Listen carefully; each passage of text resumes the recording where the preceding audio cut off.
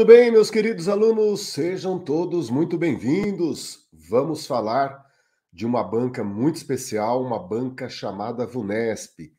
Quem se prepara para a banca VUNESP deve olhar a matéria de língua portuguesa como uma matéria premiadora. Tudo que foi estudado, tudo que foi parte da sua preparação virá em benefício. Eu diria que entre as bancas que eu conheço, aquela que traz mais né, equilíbrio entre o que você estuda e aquilo que cai, não há dúvida, é a VUNESP. Talvez seja a banca que produza para muitas pessoas certo estranhamento pela facilitação em relação à matéria língua portuguesa. Mas essa facilitação, eu sempre digo aos alunos que ela não é dada, ela é conquistada. Não é que a prova seja fácil, ela fica fácil. Então você tem um caminho a percorrer, e se esse caminho é bem percorrido, com certeza, né, na sua prova, aqui nós estamos mirando a prova de oficial, 20 questões de português, uma matéria muito importante. Então você saiba que o custo-benefício é equilibradíssimo, a chance de você se dar muito bem nas matérias, né, uma chance muito diferente de qualquer outra banca do Brasil. Nós temos um edital bastante enxuto, bastante exato.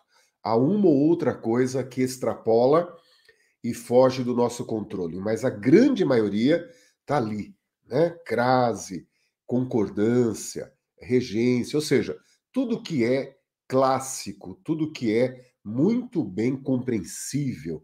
Então há uma caminhada, há uma absorção de conteúdos, há muito treino, mas há um equilíbrio. E esse equilíbrio não há comparação, tá bem? Então, bom dia a todos vocês que estão chegando. Nós vamos ter hoje uma aula que é prática. Eu só vou apontar para vocês aquilo que tem altíssima reincidência. E daí nós vamos em cima. Gostaria que vocês hoje percebessem que há uma importante noção de fragilidade. Né? Reconhecer, ah, professor, isso aí eu não estou bem, isso aí eu não estou dominando, porque são pontos que não tem como outro reconhecer que não seja você próprio. Então vá, né, atento a isso, veja o que faltou. Às vezes eu tenho alunos que eles têm excelente conhecimento gramatical. E quando você tem excelente conhecimento gramatical, a questão ganha velocidade. A questão fica muito rápida.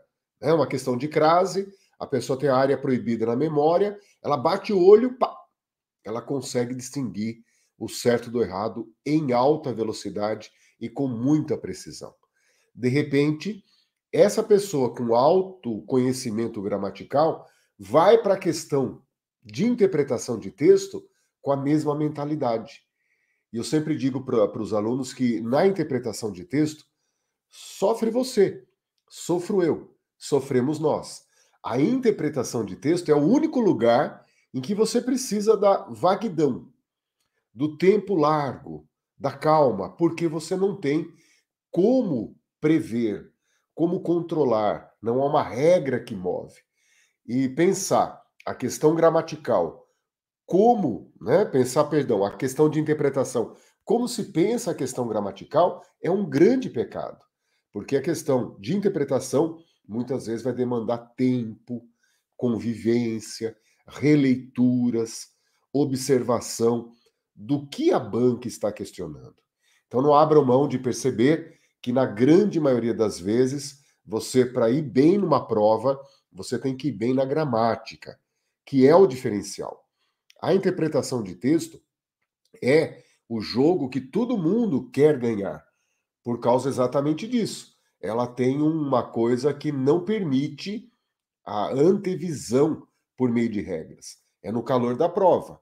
E poucos desenvolvem habilidades gramaticais. Então, o grande diferencial da prova é ir bem na gramática e, é óbvio, ter calma, parcimônia, protelação na parte da interpretação de texto. A interpretação de texto é convivência. A questão que não destravou, calma. Né? Leia, releia, vá fazer outra coisa, volte depois cada nova leitura, uma nova camada que você entende diferente. Isto é muito importante. São ações diferentes. Né? Tem questão de gramática que eu falo para vocês, não sabe, desiste, porque não tem o que fazer, é a regra.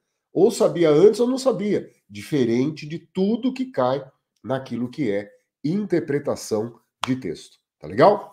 Então nós estamos aqui pensando num concurso muito importante, que é o de oficial de justiça né, do TJ São Paulo, que será organizado pela banca Vunesp, tá bem?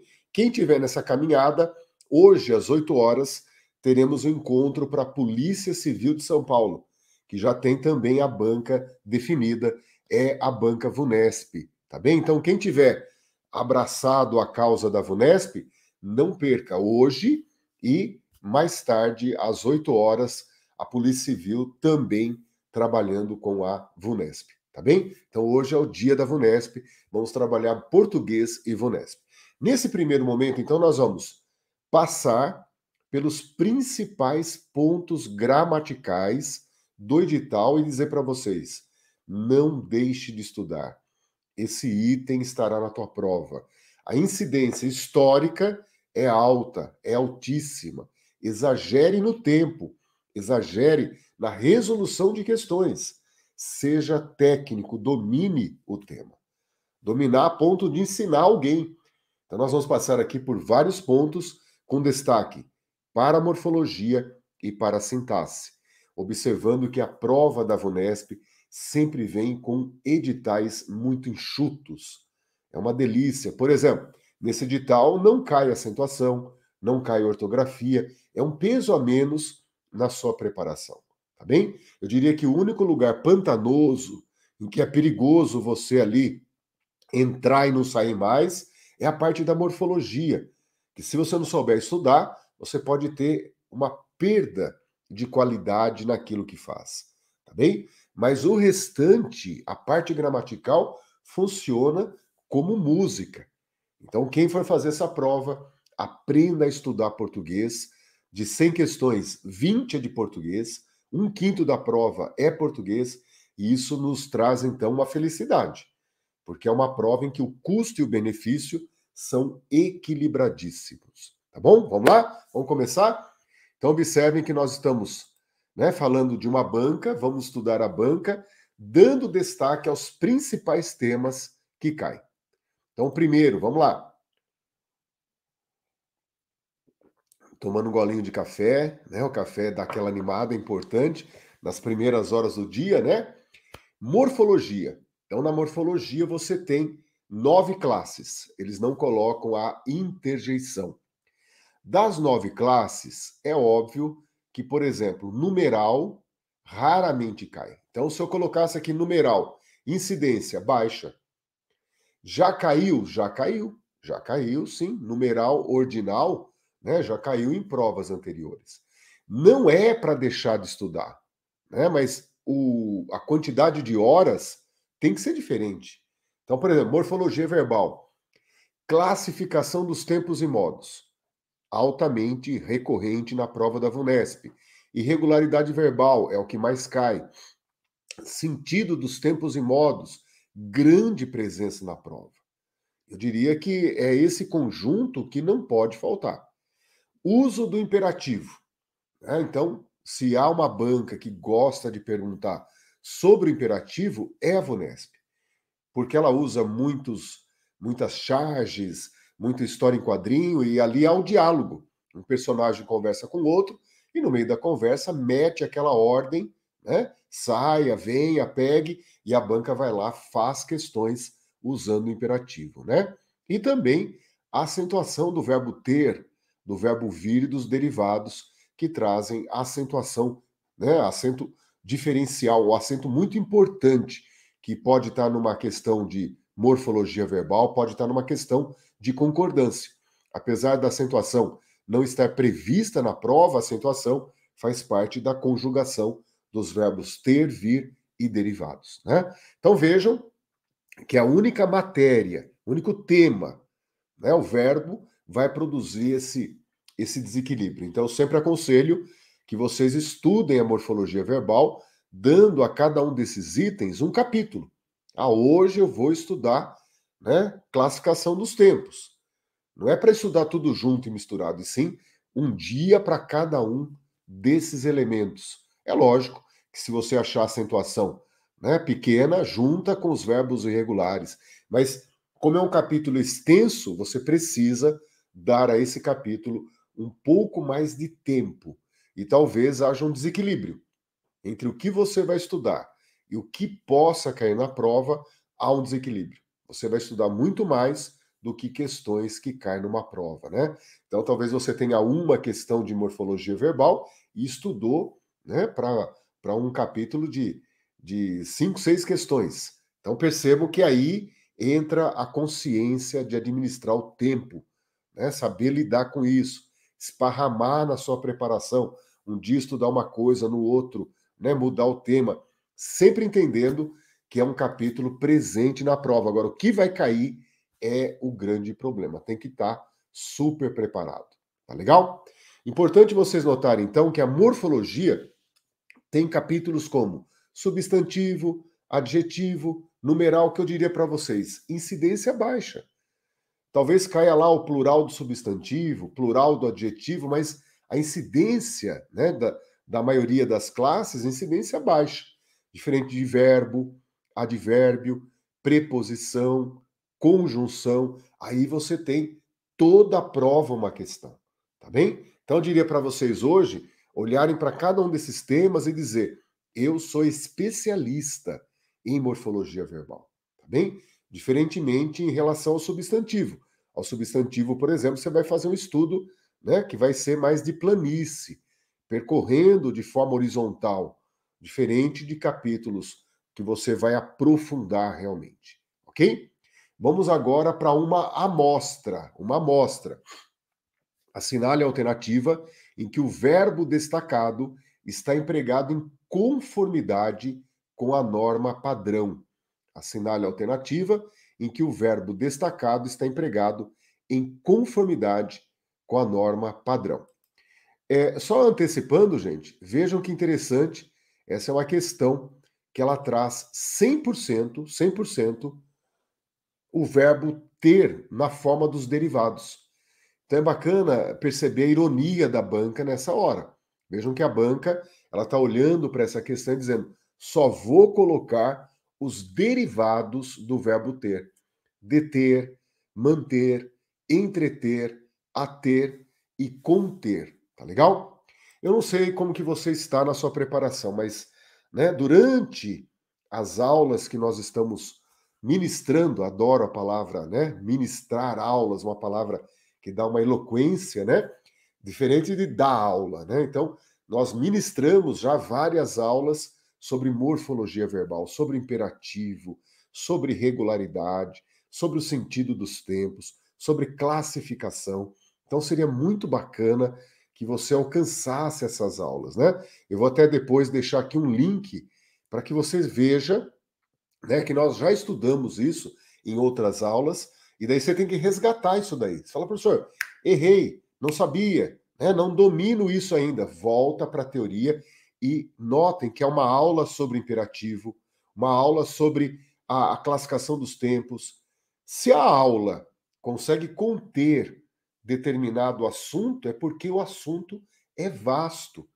E aí você tem que entender, dividir. Não é um dia estudar verbo, sim um dia estudar o imperativo. Né? Cada dia que você parar para estudar, estudar um dos assuntos relacionados ao verbo. Então percebam que aí nós temos, né, na letra A, na letra A aparece o futuro do subjuntivo. Na letra B aparece o pretérito perfeito do indicativo. Na letra C, o pretérito perfeito do indicativo. Na letra D, também pretérito perfeito. E na letra E, o futuro do subjuntivo. Quem não tem essa visão é porque não estudou. Sacaram? A hora que eu resolvo questões de irregularidade verbal, eu vou ter uma gigantesca quantidade de alternativas conjugando, primeiro, o presente indicativo e o presente do subjuntivo, porque eles têm uma parceria. É um tempo que forma outro. Então, o que está irregular no presente se expande para o presente do subjuntivo. Então, os dois presentes dialogam né? E principalmente na irregularidade, há empréstimos. Então você vai ter as alternativas envolvendo os dois presentes. Mas nada se compara ao pretérito perfeito, pretérito perfeito do indicativo, que ele forma os outros dois tempos do subjuntivo, o pretérito imperfeito e o futuro. Então notem como há uma extensão. O que está uma desgraça aqui se estende para lá. O pretérito perfeito traz alguns verbos com altíssima irregularidade. E essa alta regularidade se expande para o futuro do subjuntivo, para o pretérito imperfeito subjuntivo. Então, quais são os três tempos com alta recorrência nas questões de irregularidade verbal? Pretérito perfeito do indicativo, pretérito imperfeito do subjuntivo e o futuro do subjuntivo. E há uma razão para isso. E a hora que você enxerga o miolo dessa razão, você fala, tá aí, professor. Então eu vou deixar ao fim aqui, depois que terminarmos a aula, os links e vou colocar o assunto da aula. Então houve uma aula que nós trabalhamos apenas irregularidade verbal.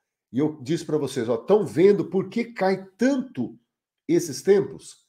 E você tem que ter então essa essa visão do conjunto para poder entender, né, que essa questão ela traz ali dois tempos: o futuro do subjuntivo e o pretérito perfeito do indicativo. Por quê? Porque são tempos irregulares que o brasileiro erra muito, principalmente nos derivados. Então, o verbo deter ali, na letra A, se a barragem detiver. O verbo ter fica tiver, o derivado detiver. Por isso que a letra E é a alternativa correta, né? Quando o container tiver, quando o container contiver número 1, letra E, é isso aí a alternativa correta. Agora, e o resto, né? E, e o resto? Ah, a letra B, o verbo entreter é filho do verbo ter. O grupo teve, o grupo entreteve. Né? Então, o grupo entreteve é a forma correta. Tá legal? Na letra B, as crianças tiveram, as crianças tiveram, as crianças mantiveram. Né? Na letra C, os jornalistas tiveram, os jornalistas se ativeram. Esse esse momento, né, do Fiat Lux, do insight, no momento que você fala, ah, né? São poucas vezes na vida que a gente fala, ah, e esse momento do ah é maravilhoso. Eu descobri isso aos 24 anos de idade, né? Fazendo A para quê? Descobrindo que o verbo intervir era derivado do verbo vir, que o verbo entreter era derivado do verbo ter. Então, quando eu dizia eu me entreti, ele se entreteu, eu conjugava o verbo entreter como se ele fosse um verbo regular. E ele é um verbo todo estragadinho, todo estropiado, problemático, porque ele é derivado do ter. Então, se eu digo eu tive, eu entretive. Ele teve, ele entreteve. Esse Fiat Lux, faça-se luz aqui dentro, ocorreu comigo aos 24 anos. Eu fiquei de boca aberta, porque a vida inteira conjugando entreti, entreteu. E não existe entreti, entreteu. Por ser filho do verbo ter, entretive, entretiveram, entreteve, entretinha, entretenho. Aí você não erra mais. Quando eu entretiver, se eu entretivesse, aí você põe o verbo ter na frente e conjuga o verbo entreter atrás fica super legal. Nesse momento, gente, você começa então a entender que não é estudar, e sim organizar. A nossa cabeça tem alguns desvios. Você tem que falar, volta para cá. Entreter segue o verbo ter. E aí você está estudando a irregularidade verbal, né? Então, número um, letra E é a alternativa correta. Veja agora a número dois. As formas verbais ou a forma verbal destacada na seguinte passagem do texto remete à ideia de recorrência dos eventos relatados pelo narrador. Qual que é a forma verbal que traz a ideia de recorrência dos eventos? Qual que é, gente? Letra A. Os sons da máquina de escrever vindos Letra B, meu pai trabalhava depois que todos haviam ido dormir. Letra C, a sineta do carro tilintando ao ser devolvido. Letra D, mesmo em meio à confusão, poderia haver harmonia. E letra E, o mundo desaparecia sem violência, depois voltava a existir. Qual que é a conjugação verbal, gente? Que nos traz a ideia de recorrência. Né? Recorrência. Então, notem que há um tempo que indica ações repetidas no pretérito. Ações que você fazia de maneira rotineira lá no passado. E o verbo que assim se demonstra é o verbo no pretérito imperfeito do indicativo. Quando eu digo eu joguei bola aqui, traz a ideia de que eu joguei uma vez. Eu fiz lá uma ação e concluí. Agora, só quero deixar claro que essa ação fazia parte da minha rotina. Ah, nas férias, né? Eu joguei, eu joguei uma vez. Traz uma ideia singular, única, ação concretizada, ação acabada. Se eu quero mostrar que lá no pretérito essa ação se repetia, eu vou dizer eu jogava. Tá bem? Por isso que na letra E, número 2, letra E, você vai encontrar o pretérito imperfeito. E atenção, atenção que os verbos terminados em AR formam com a desinência vá. Estudava, voltava, né, comprava. Agora, os verbos terminados em ER, IR, formam com a desinência ia. Então, vendia, estabelecia, compreendia, partia, abolia. Essa questão já é uma questão clássica né, nas questões de concurso público, quando lá no enunciado a banca coloca, por exemplo, desaparecia. Assinale a alternativa que traz o mesmo tempo e modo que a forma verbal acima, desaparecia. E lá na letra B, na letra C, aparece estudava. Então a forma muito distinta não cria relação, né? Entre estudava e estabelecia. Estabelecia e estudava estão exatamente no mesmo tempo, denominado pretérito imperfeito do indicativo. Qual que é o sentido essencial do pretérito imperfeito? Indicar repetição de ação lá no passado, demonstrar que era uma ação da rotina, uma ação que você fazia com frequência. Olha que legal, né? Essa diferença entre joguei e jogava. Joguei, uma ação concluída. Jogava, ação repetitiva lá no pretérito, lá no passado. Que capítulo que você está aí? Ah, professor, estou trabalhando o sentido dos tempos. O sentido dos tempos. Tá legal? Então, morfologia verbal. Faça um estudo o mais completo possível, entendendo que uma ou duas questões né, sempre vão aparecer na prova da VUNESP. Beleza? Vejam a questão número 3. Com relação ao trecho, tu, que celebraste com tanto amor as arquivistas, vem agora celebrar comigo a aeromoça. Se trocarmos tu por você, os vocábulos destacados devem ser substituídos, mantendo-se a correção gramatical por você. Então aí a banca já entregou a questão, né? Você que celebrou. Então notem que celebraste está no pretérito perfeito, tu que celebraste. É isso com que a banca estava trabalhando, né? Que tempo que é o celebraste? O pretérito perfeito. Por isso que a classificação do tempo, gente, é primordial. Vem antes de tudo. Né? Você tem que dar primazia na hora de estudar. Por quê? Porque faz parte da sequência. Há vários capítulos que dependerão de você olhar para celebraste e dizer pretérito perfeito. Então eu celebrei, tu celebraste, você celebrou. E com esse acerto, já matamos a questão, a letra D. Mas vejam ali, no vem. O vem é o imperativo, tá legal? O vem é imperativo.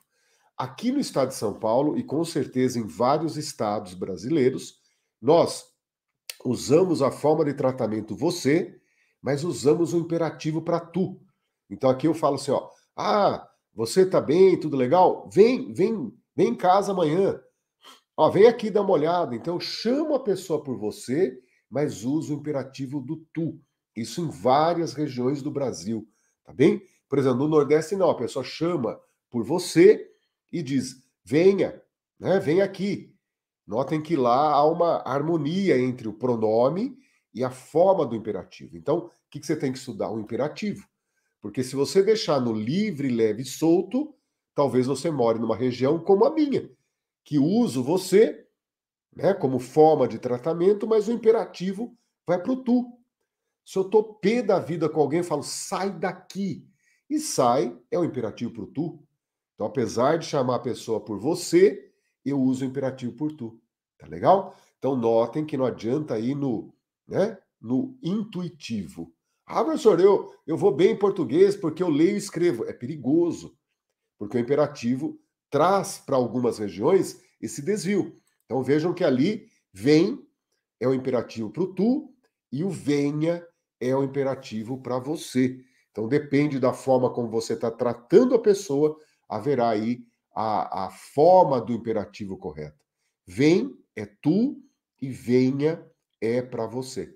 Então nós temos já uma aula de imperativo muito legal.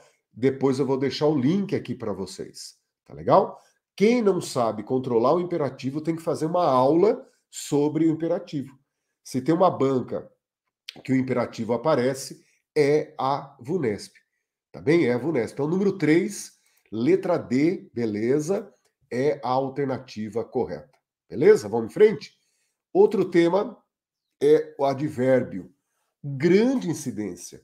É, é, é praticamente impossível pegar uma prova da VUNESP e não ter uma questão sobre o sentido do advérbio. E aí, gente, eu tenho que entender que há, primeiro, vastidão. Há muitas classificações. E segundo, eu tenho que ter um pouquinho de destreza.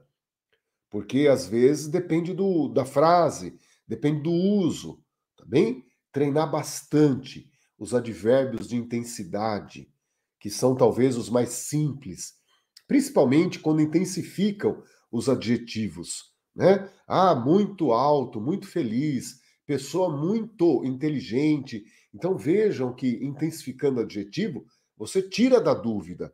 Ali é advérbio de intensidade, né? E notem que nesses capítulos você vai ter grande riqueza de classificação.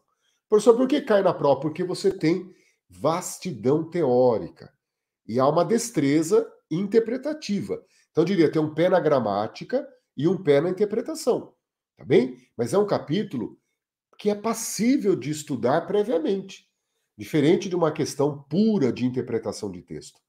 Essas questões que permitem o estudo prévio, você não pode abrir mão. Então, você tem que ir lá dominar tudo que existe de advérbio: causa, modo, lugar, tempo, negação, dúvida, intensidade, né? Então, treine. E é um treino que tem 15 minutos de teoria, uma hora de prática. 15 minutos de teoria e uma hora de prática. Ou seja, é praticando que você volta para a teoria e fala: opa, aqui eu me enrosquei. Deixa eu voltar para entender. Tá legal? Então vamos pegar aqui uma questão que mostre exatamente isso para nós. Observe as expressões destacadas. Mas às vezes acontece. E a família pouco amorosa. E aí, gente, o que vocês diriam para mim? Às vezes acontece. Família pouco amorosa, muito amorosa, bastante amorosa, meio amorosa. É aí que eu digo para vocês. Eu, professor, tenho também os meus lapsos, os meus momentos de reflexão íntima, que eu não demonstro. Né? Aquele momento que eu falo assim, e aí, e aí, né? E o pouco, eu bato o olho e falo, já sei o que é. E isso na prova, na prova da VUNESP, gente, é uma banca que te premia. Ela entrega a questão. Você, localiza uma definição, uma classificação, pronto. Né? Então, observe ali que nós temos, é, às vezes, não é sempre. Notem que há uma noção temporal em jogo, né? Ele estuda sempre, ele estuda às vezes, ele estuda há uma noção temporal. E por isso, parabéns, número 4, letra D de dado. Letra D de dado. E aí você tem que dizer para mim, professor, isso daí é fácil ou difícil? Não é que é, é fácil, fica fácil. Você faz uma, duas, na terceira, tá dominado. Mas é algo que você começa a estudar hoje e vai até o dia da prova. Por quê? Porque vai estar tá lá? Vai. E tem que esperar mais de uma questão. Essas com alta reincidência, você tem que pensar, vai cair uma ou mais. Então, o custo de aprendizagem tem um benefício alto, porque você tem um edital enxuto e um quinto da prova é português. Então, a chance da banca percorrer tudo que está no edital é muito grande. É muito grande, né? Observe agora número 5. Talvez, pelo vai e vem da mudança, alguns livros despencaram ruidosamente da estante improvisada e caíram no chão. Entre eles estava O Coração, livro que o autor sempre apreciou muito. A expressão que apresenta circunstância adverbial de modo. Eu sempre digo para vocês, né? O professor também tem aquele instante de silêncio, de busca, né? de apreensão, de vacilo. Tá legal? Então eu diria: excluir muitas vezes é a melhor atitude. Não é que você olha para o correto, você diminui a tensão, excluindo o que está errado. Tá legal? Observe então que nós temos, que nós temos muito, apreciou muito, advérbio de intensidade. Apreciou muito ali, eu tenho total certeza que é advérbio de intensidade. Um problema menos. O talvez é de dúvida, de dúvida. No chão, lugar, caíram onde? No chão. Então vejam que às vezes você tem uma ação negativa pela exclusão. Ele quer o de modo. O que não é de modo? Isso é muito importante em qualquer banca, em qualquer concurso. O ato de excluir aumenta a sua chance de acertar. Na prova eu ficaria entre pelo vai e vem da mudança e ruidosamente. E aí eu digo para vocês, ó, por que alguns livros despencaram? Por quê? E eu quero a causa. Por quê? Ah, tá ali, ó. Pelo vai e vem da mudança. Por causa do vai vem da mudança. Então nós temos, talvez, dúvida. Pelo vai vem da mudança, causa ruidosamente, modo, no chão, lugar e muito intensidade. O que é muito bacana, gente, o que é muito bacana é você estudar a teoria, vai lá, estuda a teoria, show de bola, resolve a questão. E ao resolver a questão, você vai tentar classificar. É o lance de resolver em pouquíssimos segundos, brevíssimos minutos, e depois estudar a questão. Ah, tá, essa aqui não é, mas o que, que é? Não é, né? Na hora excluir. Mas e depois, o que é no chão? O que é o muito? O que é o talvez? Eu diria para vocês que vocês aprendem muito é na hora de estudar a questão. O candidato, ele nasce na questão. Quem está na teoria está como estudante, assume o papel de estudante. O candidato só nasce a hora que ele põe a mão na maldade da banca, nos problemas da banca, na altura da questão organizada pela banca. O candidato nasce sempre apanhando, chorando, cheio de marcas, né? cicatrizes, senão ele não se forma. Se ele não tiver uma cascadura, né, ele não se forma. Por isso que a teoria é uma ilusão. Eu leio e tenho a impressão que eu domino. A nossa realidade é a questão e não a teoria. A teoria, ela nos ajuda a chegar. A teoria apenas é o caminho para a realidade. A realidade é a questão do concurso. E quando a gente fala em VUNESP, é muito legal porque o custo-benefício é maravilhoso. Então, número 5, parabéns. É isso aí. Letra B de bola, alternativa correta. Tá bem? Ó, letra B, é isso aí. Vamos em frente? Outro tema com grande incidência é o da preposição. A preposição já é importante para a análise sintática. A hora que você estiver lá na análise sintática, a preposição, né, na concordância, na transitoriedade verbal, no pronome relativo. Então, no plano operacional, a preposição é fundamental. Tá bem? Para entender a sintaxe, a preposição é peça-chave. Agora, a preposição, ela pode ter também um sentido. Também pode ter um sentido. Principalmente quando introduz advérbios, quando introduz agente da passiva, tá bem? Na realidade, não é só a preposição, mas é aquilo que ela introduz. É o conjunto, né? marcado inicialmente pela preposição.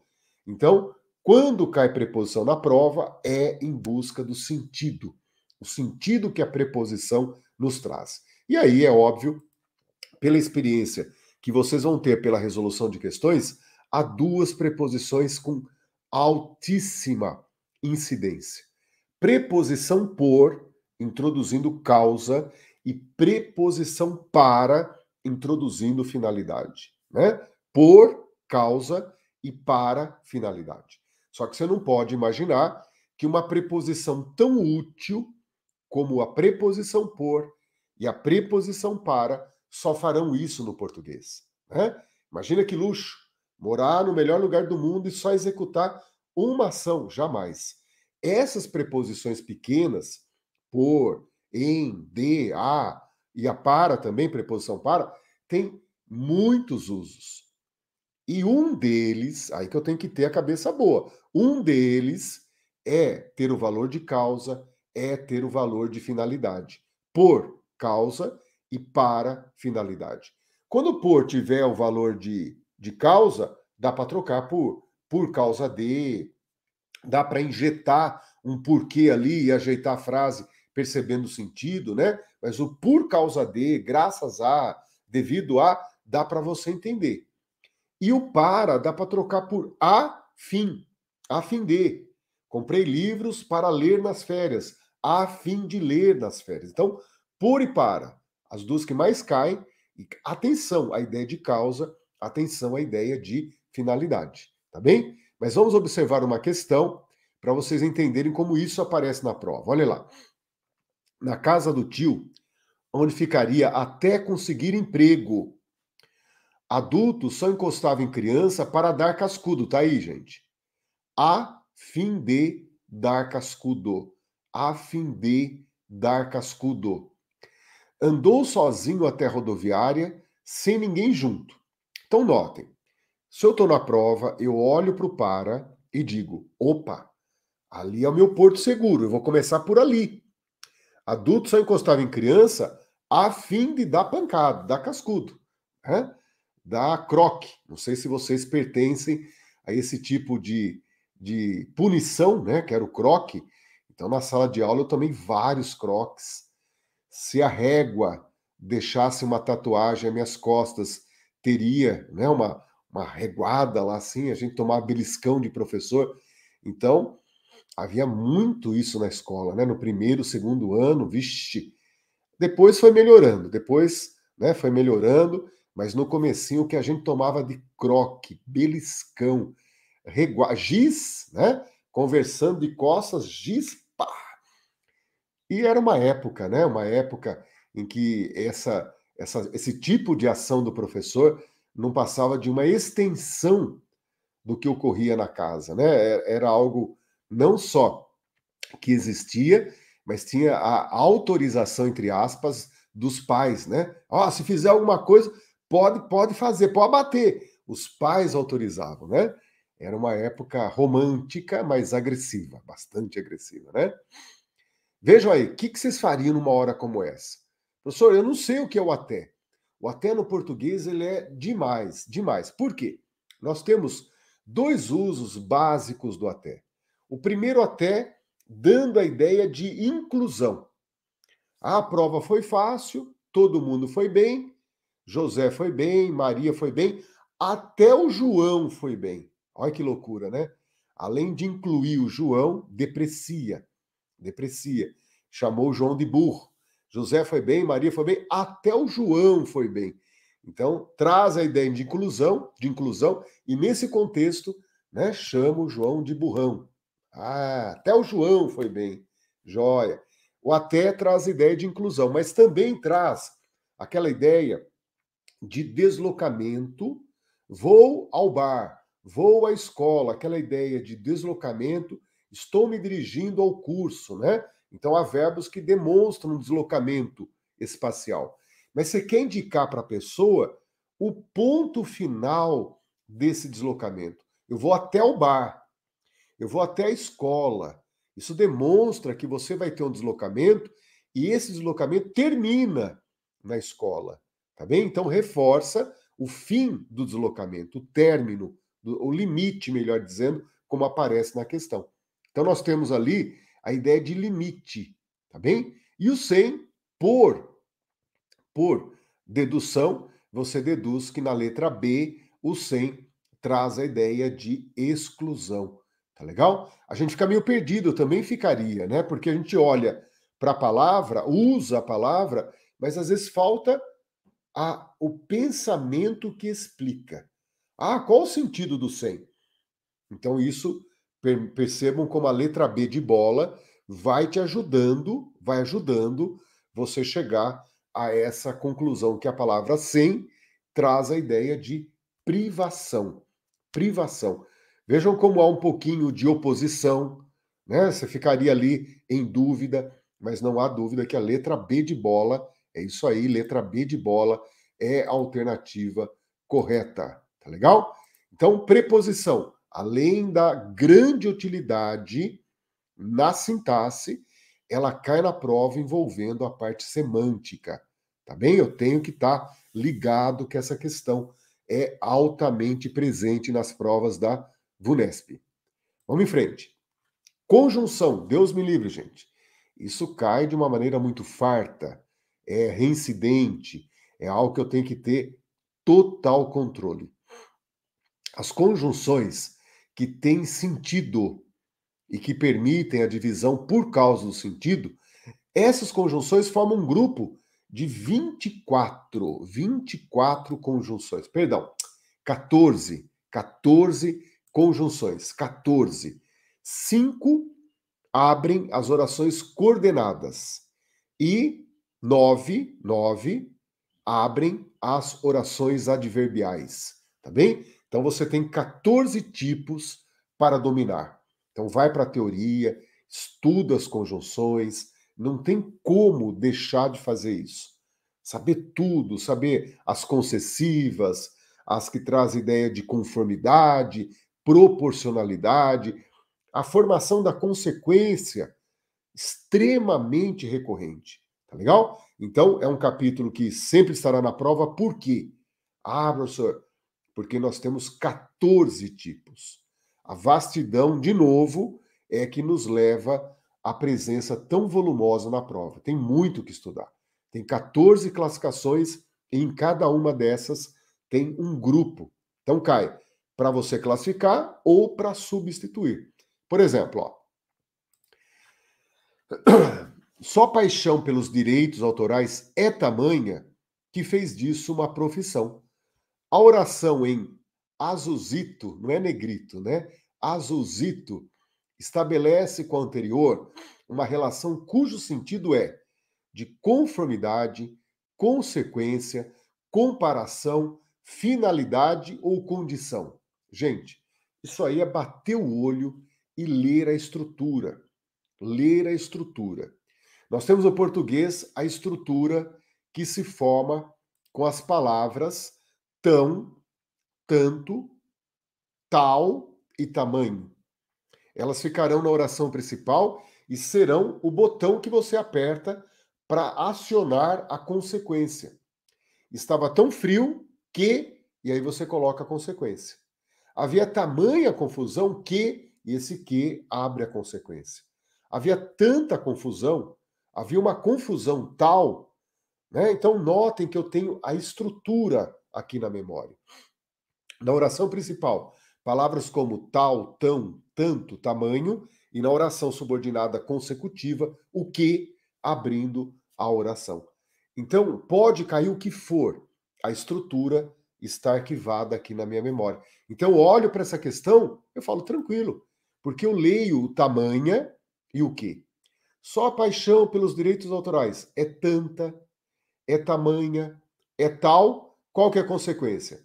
Que fez disso uma profissão. Então, letra B, consequência, é a alternativa correta. Número 7, letra B, alternativa correta. Na frase, embora ainda considere infundado o alarmismo climático, o cientista se diz agora um cético convertido. O termo embora expressa a ideia de e aí não tem, é isso que eu digo, ou sabe ou não sabe, né? A palavra embora, gente, talvez seja na nossa memória é uma estranha no ninho. A conjunção embora existe em nós, mas ela é estranha. Ela está lá, junto com aquelas várias outras conjunções que dominamos, mas ela é estranha, tá bem? Vejam como a classificação de concessão, ela só ocorre na nossa vida por meio de estudos, por meio de uma preparação. Ah, professor, fazer uma prova. Então aí você entra nesse universo particular de olhar para a turma das concessivas, embora, apesar de que, ainda que, mesmo que, né? E saber que ela é denominada de conjunção concessiva, aquela que traz uma ideia de ressalva, de contrariedade, né? Então, quem domina isso, gente, é um domínio 100% teórico. É gente que parou a vida para estudar, não tem milagre, né? Não tem milagre. E isso é um bom sinal. Isso é um bom sinal. Muita gente olhando e falando, tranquilo, professor. E se caísse na prova, eu acertaria. Tá legal? Vamos para frente? Aqui temos aquilo que eu chamo de conjunção fora da casinha conjunção fora da casinha. Por quê? É a hora que cai uma conjunção em que você tem que ir um pouco além, tem um pouco mais de malícia. E a conjunção E é extremamente usada para isso, gente. Leio ali na charge, ó. Ele passou o dia discutindo política nas redes sociais e não compartilhou uma fake news. É grave, doutor. Esse E, gente, tem o valor do quê? E daí você vai para as alternativas, aparece um porquê, um ou, um pois, então e mas. Então é óbvio, gente, que ela está com um valor semântico que não é o de adição. E esse e, então, me exige uma aprendizagem renovada. Não é só adição. Então ali o e tem valor de mas. Né? Ele passou o dia discutindo política nas redes sociais, mas não compartilhou uma fake news. E por isso, então, é isso aí, ó. Número 9, letra E, alternativa correta. Então, notem né, que as conjunções, obrigatoriamente, devem ser muito bem estudadas. E por que, que é bacana, gente? É algo que, com a convivência, de forma cíclica, estuda uma vez, estuda duas, três, não tem como dar errado. E daí a prova a, oferece a você um custo-benefício maravilhoso todo o tempo que você se dedicou ao estudo verte em benefícios, não tem como dar errado. Então, para ir bem na prova da VUNESP, é só fazer o caminho, o caminho da roça, né? O caminho que eu diria do estudo, aquele estudo que não é aprofundado, que não é extremamente verticalizado, mas tem que ser feito. E a banca vai lá e te premia, tá bom? Vamos em frente agora para entender aspectos da sintaxe. É aí que entra pronome pessoal, pronome relativo, concordância, regência, é, crase, pontuação. É aí que você tem, então, o grande volume, a maioria das questões gramaticais. É a área em que você tem que estudar né, em alto nível. Pronome pessoal, que cai, professor? Colocação pronominal e o uso do oi e do lê, um uso que está relacionado à regência verbal. Né? Por exemplo, eles sempre tiveram no horizonte a meta. Então, pede para trocar a meta por um pronome. Então, você tem que saber o tipo de pronome, se é o pronome lhe ou o pronome a. E como ali nós temos um verbo transitivo direto e temos a meta, a meta, objeto direto, a troca por um pronome é pelo pronome a. E isso eu gostaria que você, né? Eu queria até chamar essa aula de cura a ti mesmo. Cura a ti mesmo. Né? A aula seria isso. Ou seja, eu estou passando aqui para vocês aquilo que estará na prova. Se fosse um cassino, eu apostaria todas as minhas fichas naquilo que eu estou trazendo para vocês. E a chance de eu ganhar seria muito alta. Né? Então percebam que o cura a ti mesmo é: puxa, professor, eu erraria essa questão. Eu não sei o que é VTD, eu não sei o que é VTI. Cura a ti mesmo. Né? Seria a legenda para nossa aula de hoje. Mas estão entendendo por quê? Notem que ter esse reconhecimento é um reconhecimento íntimo, personalizado, intransferível. Se você não disser eu não sei, nada vai dar certo, nada vai para frente. Então a primeira atitude é reconhecer a fragilidade. Professor, eu não consigo analisar o verbo ter e a meta como VTD, objeto direto. Então volta na regência, faz um estudo muito legal de regência. Tá legal? Vejam que ali o pronome a é o tipo de pronome que substitui a meta. Daí vem o segundo movimento teórico. Qual que é o segundo movimento teórico? O primeiro era o tipo de pronome, é o pronome a. Segundo, em que lugar que eu coloco, professor? Ah, o sempre é um advérbio e como advérbio ele puxa o pronome. É a tal da palavra atrativa. E por isso, parabéns, número 10, letra C. Número 10, letra C. Eles sempre tiveram. Ah, onde que eu coloco? Antes.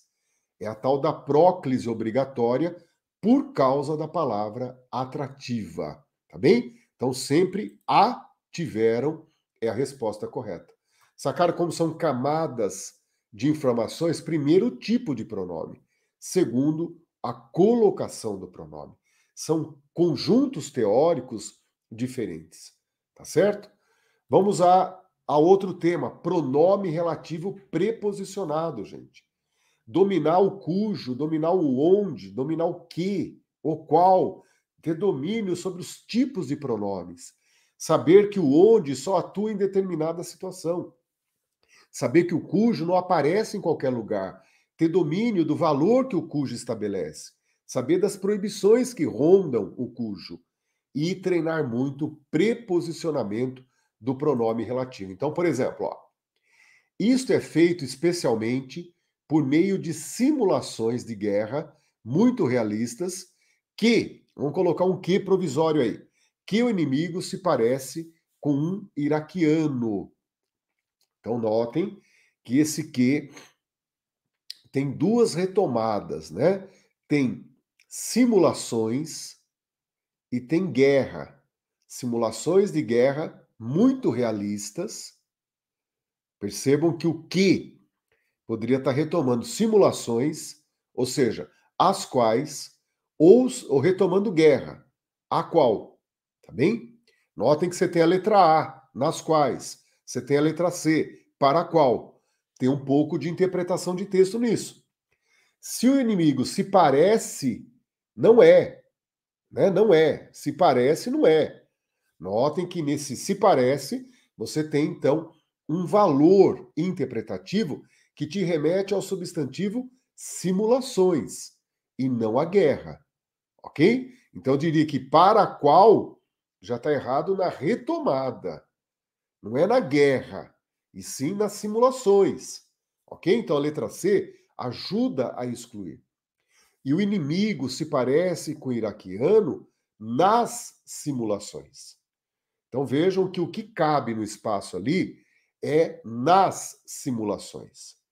Primeiro, nas quais? Perfeito. Letra B, aonde? Aonde está errado por dois motivos. Simulações não é lugar e não se exige a preposição a. Ah, professor, e se caísse onde? Também está errado, porque simulação não é lugar. Simulação não passa ônibus, não tem banco público, não tem sarjeta, não é espaço, né? não é lugar. Simulação não é lugar. Então não caberia onde nem aonde, ok? Então vejam como ali a letra B está excluída. Para qual? Excluímos para qual? Devido à retomada errada e o preposicionamento. O inimigo se parece com o iraquiano para a guerra, não teria nexo. Há duas falhas ali: preposição que não dá nexo e a retomada em guerra. quando o coerente é retomar simulações, tá bem? Que o que sozinho retomaria simulações, por exemplo. E daí só simulações não dá nexo. O inimigo se parece com o iraquiano às simulações? Não daria nexo. O que daria nexo é o inimigo se parece com o iraquiano nas. Então tem que ter a preposição em. Ok? Por isso que a letra D está fora. A letra D estaria correta se aparecesse em que. Então, nas quais é a alternativa correta. E se não existisse nas quais, a letra D passaria correta se ali estivesse em que. Em que. E o cujo já pode excluir porque tem o artigo o à frente. E onde tem o artigo o, eu não consigo encaixar o cujo. Então vejam como é uma coisa que eu tenho que ter muita informação teórica, organizadora, excludente, tá legal? Mas o segredo era entender que caberia ali nas simulações. E qual seria o pronome que substituiria nas simulações? Letra A, letra A. Exatamente, Ulisses. É isso que é importante. O ato de excluir, muitas vezes, antecede o de escolher. Eu acho que isso é muito importante e essa prática tem que ser aperfeiçoada. Então, a letra B, letra C, letra E já bateu o olho dizendo não se encaixa. Principalmente a letra B de bola e a letra E de escola. Tá legal? Então, a alternativa correta é isso aí. Número 11, letra A, parabéns, é isso aí, ó. 11, letra A, alternativa correta. Outro tema óbvio é a crase e na prova da VUNESP dominar a área proibida. Tá bem? Se a questão foi difícil, é porque ela avançou para trocas, trouxe um VTD que não exige a preposição a, trouxe um aquele, mas é quase sempre área proibida de crase. Área proibida de crase. Caindo ou não, gente, vocês têm que ter total domínio da área proibida de crase, ok? Então, numa questão como essa, ó, eu vejo ali serviço, palavra masculina, olho para elas, pronome pessoal. Eu já tenho domínio pleno que nas duas primeiras não haverá crase. Já cheguei na D e na E. E isso é uma precisão, gente, gigantesca. A serviço de masculino. Foi graças a elas elas é pronome pessoal, é a área proibida. E cheguei na D e na E. Daí na última lacuna, hoje elas deram lugar às máquinas. Troquem máquinas por robôs. Hoje elas deram lugar aos robôs. O verbo dar rege a preposição a. Máquinas vem com o artigo as. Por isso, não tenho dúvida. É isso aí, Camilo. Número 12, letra D, alternativa correta. Geram também, número 12, letra D, parabéns.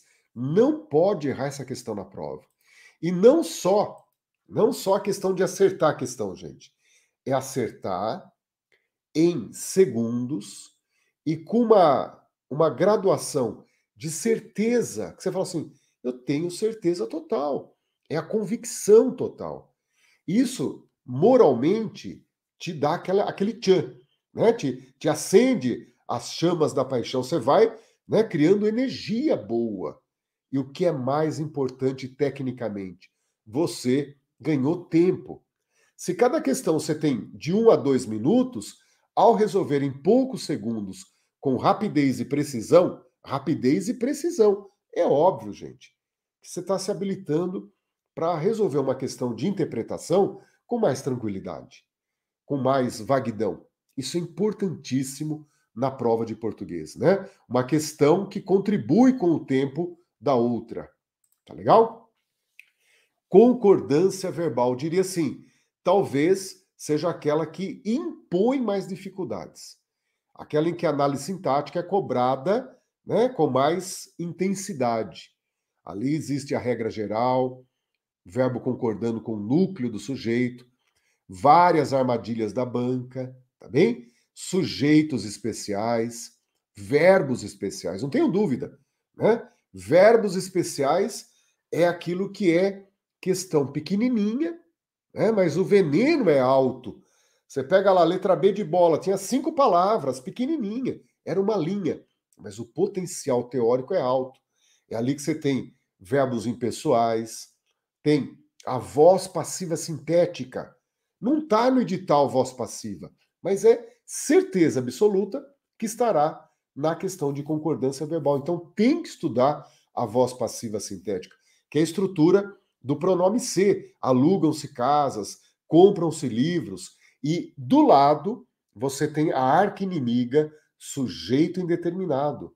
Precisa-se de casas, é, necessita-se de mudanças. Esse conjunto é um ritual.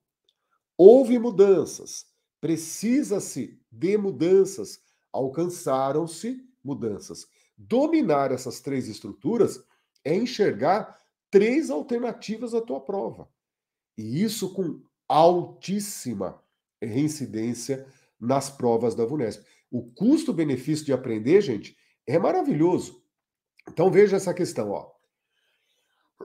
Perdão. É, dúvidas. Então você tem o verbo surgir, o verbo correr, o verbo existir, o verbo aparecer e o verbo haver. O único fora da normalidade é o verbo haver. Se ali eu usasse, ficaria há dúvidas. Todo o restante são verbos normais que trazem sujeitos. Então seria ali surgem dúvidas, correto. Ocorrem dúvidas, errado. Existem dúvidas, correto. E aparecem dúvidas, errado. Então a letra B de bola e letra C já saem como erradas. Na segunda lacuna, gente, voz passiva sintética. Como se reduziram as suas projeções, como as suas projeções foram reduzidas. É a passiva sintética. Cai na prova com altíssima recorrência. E aí a concordância plural com projeções, concordância obrigatória. Tá bem? E na última lacuna, juros, juros é o núcleo do sujeito, regra geral, têm sido exagerados, têm sido exagerados, só pode ser então número 13, letra A. Número 13, letra A. Tem sido exagerados. Legal, gente? Concordância verbal, eu diria, é aquilo que cai com recorrência e talvez seja o momento mais exigente da parte gramatical. Tá bem? Então é isso aí. Número 13, letra A. Pontuação. Claro, pontuação está no edital, vai formar uma questão. E aí você já sabe que o grande inimigo da questão de pontuação, né, no caso, questão de vírgula, é a falsa conceituação de que a pausa gera vírgula. Se você já matou esse falso conceito, é óbvio que a sua leitura da questão já é outra, já mudou, tá bem? Então vejam comigo uma questão envolvendo pontuação. No que se refere à pontuação, a escrita, a reescrita de uma passagem do texto está em conformidade com a norma padrão da língua em letra A, ele, daí aparece com ar de displicente como elemento deslocado. Sujeito ele, verbo passou, ele passou. E daí eu intercalo com ar displicente. Como que ele passou? É o modo como ele passou. Está antecipado. Então teria que ter uma vírgula antes e uma vírgula depois do termo com ar displicente. Aquela vírgula solitária, aquela vírgula órfã, perdida, ela está errada. Aquela vírgula pós-displicente, ela não é correta. Ou eram duas ou nenhuma, isolando o termo intercalado. Na letra B, eu sonhava em ser desenhista de histórias em quadrinhos, tudo na ordem direta, sem nenhuma necessidade de vírgula desde muito cedo. Desde muito cedo um advérbio que corretamente recebeu vírgula, vírgula facultativa. Perfeito, gente. Daí abre-se uma oração com mas, mas tudo jogava contra. Tudo perfeito. Então, número 14, letra B, é a alternativa correta. Ali não tem nenhum erro, nenhum erro. Na letra C, os gibis seriam riscados. Vejam a relação lógica. Os gibis seriam riscados. No meio, o que, que eu intercalei no meio? E aí você começa a ter um olhar de gramática, um olhar técnico. O que está no meio deslocado? Se dependesse dos críticos, é uma oração subordinada, adverbial condicional. Se você souber falar o nome, o sobrenome, o endereço e o SIC, SIC não, né? O CPF, SIC era antigamente. CPF, né? Nome, sobrenome, endereço e CPF, ótimo, parabéns. Se não, basta entender que esse trecho está intercalado, está fora do lugar normal. Ele foi colocado entre o sujeito, os gibis, e o verbo, seriam riscados. A sensação de relação lógica e deslocamento prevalece. Notem que dizer que é uma oração subordinada adverbial condicional é maravilhoso. Agora, é necessário? Não. Você tem que sentir o fluxo do que está na ordem direta e o que está deslocado, que é o elemento acidental. Então, essa oração teria que ter uma vírgula antes, como tem, e outra depois. Faltou a segunda vírgula. Né? É, ali também na letra D, na letra D, nós temos é, J.K. Rowling, criadora. Ah, falta né, isolar o aposto, criadora do bruxo Harry Potter. É um, uma explicação da autora entre vírgulas. Faltou a primeira vírgula antes de criadora. É, na letra E, o erro mais clássico que pode existir, né, gente? Meus sonhos, sujeito, eram verbo. Separar sujeito e verbo é o erro clássico, é o erro que eu tenho que entender antes dos demais. Então, número 14 é isso aí, letra B, alternativa correta. E o que é bacana na prova da VUNESP, gente, você fala assim: ah, professor, questão polêmica. Quando que a VUNESP te dá uma questão polêmica? Quase nunca. Né? Eu diria que eu não me lembro. São todas questões com alta objetividade. Por isso que o que estudou cai na prova. É um equilíbrio maravilhoso. E por fim, gente, a regência. A regência é importante não só para a questão de regência em si. A regência é importante para a crase, para a voz passiva, para o pronome relativo preposicionado, para o uso do oi e do lhe. Então, estudar regência é estudar um tema primordial e decisivo para outros temas. Tá legal? Vejam aí o que vocês fariam numa questão como essa. Essa é uma questão que não tinha como estudar antes. Você tinha que calcular né, pela experiência na hora da prova. Em O Brasil, como se vê, optou por uma tradução pela metade. Optar por, perfeito. A preposição por mantém-se caso a forma verbal destacada seja substituída por apropriar-se, valer-se, decidir-se e utilizar-se. Então você vai para a tua cabeça e diz: quem se apropria, se apropria de algo. Quem se vale, se vale de algo. Quem, quem se decidiu, se decidiu por alguma coisa. Quem se decidiu, se decidiu por alguma coisa. E quem se utiliza, se utiliza de algo, de alguma coisa.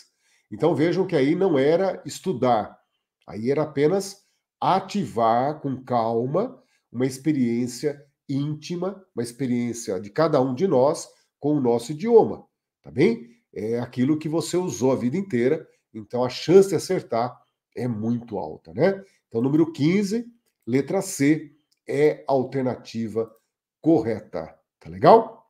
Então vejam que hoje nós passamos por aquilo que você fala assim, professor, o que, que eu faço para a prova da VUNESP? Estude tudo que está no edital, estude de forma prática, seja mais prático que teórico, vá para a prática, volte para a teoria, vá recompondo. Mas estão notando que é um capítulo que é mais importante que o outro. Ah, entre crase e numeral, os dois estão no edital, mas a incidência de crase é absurda. Agora, é para abandonar o numeral? Não é para abandonar, filho. Ninguém merece isso daí. Você vai lá, dá um carinho, dá uma atenção, mas o tempo de convivência é completamente diferente. Tá bem? Ah, professor, numeral. É, substantivo, claro, vai lá, estuda, né? saiba, tenha conceitos, mas estudar de maneira cíclica, né? permanente até o dia da prova, é isso que nós trabalhamos na aula de hoje. Incidência alta. Eu gosto de ser exagerado, eu deveria ter colocado ali incidência altíssima. Tá legal? Então, obrigado pela companhia de vocês. Terminamos aqui o nosso encontro matutino. Quem puder, às 20 horas, nós vamos seguir trabalhando com a VUNESP. Muda-se o concurso, mas a banca não. Então é focado para Polícia Civil, que o edital está aí pronto para aparecer na nossa vida. Um concurso. Desculpem. Um concurso muito legal, muito importante. Está terminando agora, né? Nós trabalhamos com essa turma, muita gente boa, um concurso muito legal e vai abrir um novo edital, Polícia Civil de São Paulo, né? Um concurso muito interessante por causa da banca Vunesp, uma banca que recompensa o candidato. Estudou, vai acertar. Não tem outra maneira. Tá legal? Então, quem puder, nos acompanhe né, às 20 horas no dia de hoje. Ok? Grande abraço a todos e até lá então. Valeu!